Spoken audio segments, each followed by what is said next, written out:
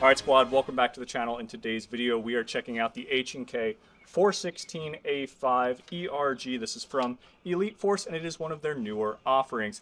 This gun is incredibly durable, full metal construction, does recoil. I would compare the recoil to something greater than a 22 long rifle. It is extremely noticeable. When you are shooting it, you'll see in the video.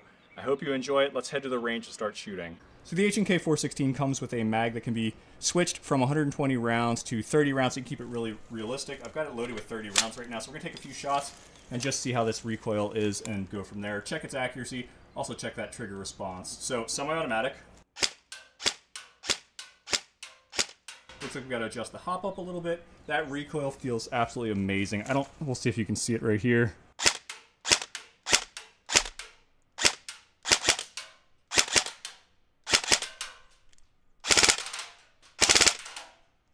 Okay, that in full auto is seriously some incredible. That's so much fun.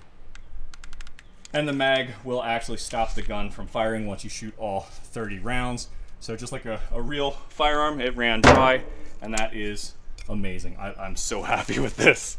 Oh my, I'm smiling right now. Before we go any further, I'd like to thank my sponsors, Jackal Tactical. Thank you so much, Jackal, for supporting the channel and giving us this gun to review. Really appreciate that, guys. If you would like to thank them, shop Jackal Tactical that is how you can support me as well. Thank you so much, Ambush, for letting us come out here and film at the field. It is so beautiful. If you're in Conestoga or you're in Pennsylvania, guys, check out Ambush. It is a great field. Let's get back to the video. All right, gang, so at about 150 feet from here, there's a doorway to the castle. We're going to try and send some rounds with the H&K 416 from here and see how it performs. I think I've got the hop-up dialed in.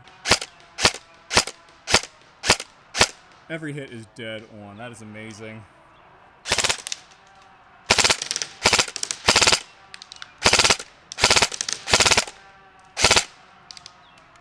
That's awesome. Now, when the gun goes dry, it does stop shooting, which is a very cool feature. I love that. All right, that's enough shooting here at the field. We're gonna head back to the studio and dive a little bit deeper into these guns. They got a chainsaw running out here. They're doing some field modifications. Ambush is really stepping up their game with the field itself. I love seeing that. Thank you so much, Ambush, for making it a better experience for the players. Let's head back to the studio. All right, we're back in the studio, and we are going to go over a few more features of the gun itself. The first thing I want to talk about is the mags. The mags are really freaking cool. Like I stated before, it switches between that 120 and 30. I ran both. They were reliable, didn't have any issues there.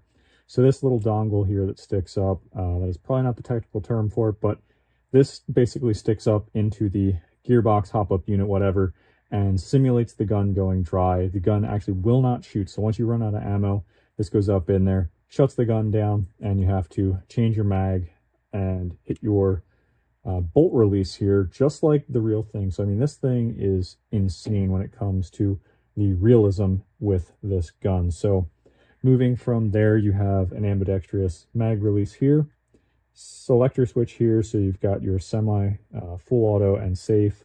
We've got this trigger guard right here. It is enhanced if you're wearing gloves. That's really cool to see. Something else to note, we've got our flip-up sights here and here, so front and rear flip-up sights. Uh, the retention is really good on the flip-up sights. Everything is metal, so it's really impressive. Even the charging handle um, is, is all metal. So I don't know if I mentioned it earlier, but the gun does weigh almost nine pounds, so it is a beefy rifle. The stock is polymer. The grip down here is polymer, um, which is pretty authentic. It's obviously licensed through Elite Force, who has the okay from HK to do this, which is really cool. So the hop up is right here under the dust cover and bolt carrier group. You kind of slide that back with the charging handle. It'll lock in place and that will give you access to your rotary hop up. Really simple to dial. I didn't have any problems uh, getting it fine tuned to be able to shoot long distance. This gun definitely performs.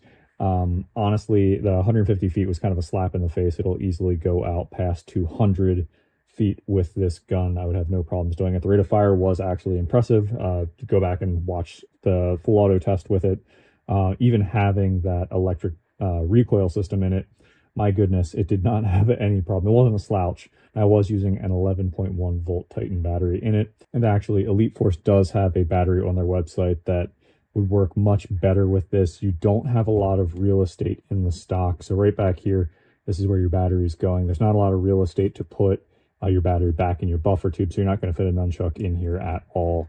Um, basically, it's going to have to sit in this cap here in the back. Your battery is going to have to sit here for it to work. Another cool feature is a full metal outer barrel. Uh, it's a 16 and a half inch barrel with the sight pinned out here, which is really neat. The gun shoots around 390 feet per second with 0.2 zeros. So that is where we're at, just under that 400 feet per second, which I think is respectable. I mean, all things considered, it's hitting hard, it's shooting far, it's got a really cool feature with that uh, recoil system.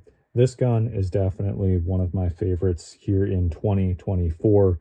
I think this is going to be a classic for years to come, honestly. I, definitely think uh, Elite Force hit a home run with this gun.